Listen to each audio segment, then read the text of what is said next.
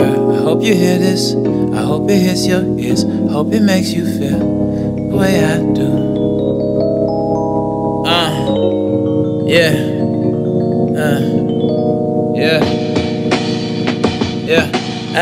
Ebony Queen, you inspire me to sing After our first date, I'm in the booth with butterfly wings In my tummy cause she hugged me and she kissed me on my cheek She ain't even let me beat, I had to wait a couple weeks But when she did, whoo, knocked me off my feet And then we laid there and pondered on the distant galaxies Like if there's life on other planets and if so, what could it be? Then we made each other laugh until we finally fell asleep you always said we're exactly where we should be. But right now, I feel like you ought to be here with me. But I guess it wasn't destined, cause otherwise you would be here. And I know that it's my fault because at the time I ain't see clear. We had a little love thing going on. There's no denying the vibe, it was super strong. I might have left out some details you should've known. I mean, I told a couple lies and it turned you off. Fuck.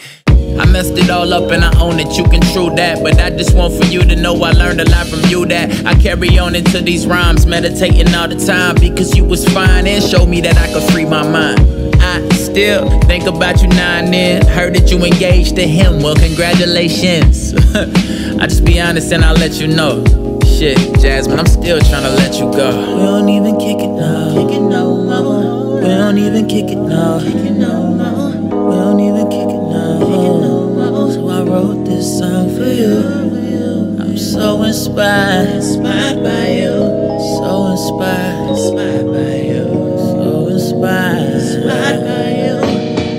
you. Uh for you.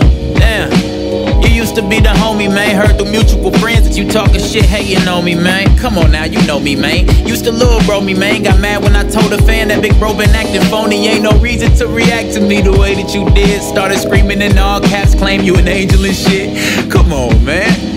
You human just like me, dog. Remember we used to be dogs till shit had started to seesaw. When Chris had got sick on tour, so y'all keep me off. No plane ticket or nothing, just stuck to watch the bus leave off. With most of my stuff still on it, never got paid from the tour before that tour. Now I got nowhere to stay. Now I'm back in the K, grinding and trapping away, dodging the questions people ask me like shit. What could I say? If I really speak my mind, I get labeled a bit of rapper. So I just stayed on my grind and moved on to another chapter. That's the part that I find funny. Still ain't been paid my money to cover up that snake shit. Y'all start telling lies on me, okay. Being quiet didn't work, so shit, let's talk about it. Maybe we could dead the issue. Could put some chalk around it. Maybe it's just fuck you forever, and we don't never speak. Tired of sugarcoating shit in line when they question me. Shipping on my chest for a while, just had to set it free. Now don't ask me shit about them niggas no more. Let it be. I don't even kick it down.